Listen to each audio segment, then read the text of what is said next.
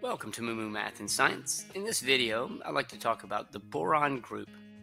The boron group are the elements found in group 13 of the periodic table.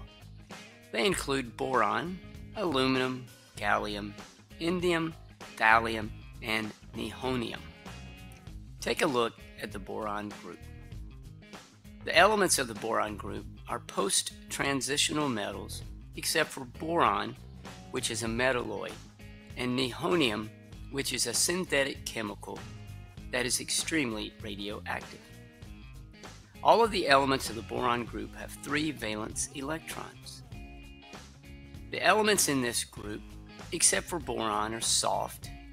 They are relatively reactive at moderate temperatures, except boron is reactive at very high temperatures.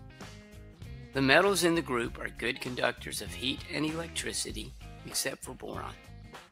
As you move down this group, the boiling points get lower and the density increases. Aluminum is a popular element of the boron group and is found in the Earth's crust.